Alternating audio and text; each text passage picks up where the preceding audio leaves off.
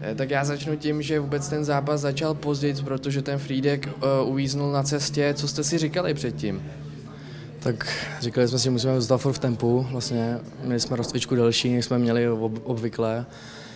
A tak to se stává tohle. No vlastně ne, my, my, už dvě cesty na Moravu jsme vlastně měli to, ten samý problém, ale naštěstí jsme to zvládli. Jeli jsme dřív teda, pámu a stihli jsme to, ale tohle jim vůbec nezávidím. Je to, je to, je to hrozně těžké se od začátku do zápasu. Je to pro tebe nepříjemný, nebo i pro vás, pro tým, takhle čekat vlastně, je to prodleva nepříjemná? Takhle je to nepříjemný, ale horší je to určitě u nich. Vlastně sedí v autobuse kolik pět, pět, šest hodin a vlastně hned musí jít do zápasu bez rozcvičky, bez, rozbru, bez, bez rozbruslení. A, je to taky složitý určitě. Eh, Myslíš, že se to podepsalo na jejich eh, výkonu a byla to třeba výhoda pro vás?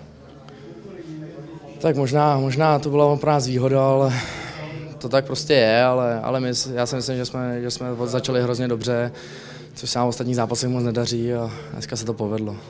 Eh, Co byl ten hlavní faktor, čím jste vlastně přehráli? Co ti přišlo, že jste, v čem jste dominovali?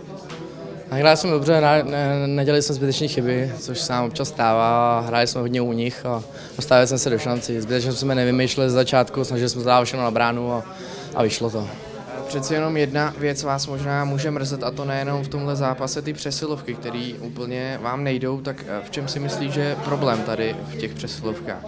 No tak přeslovky, jako snažíme se, snažíme se trénovat, ale nevím, střílíme, napadá nám to, máme, máme prostě smůlu, se mi zdá.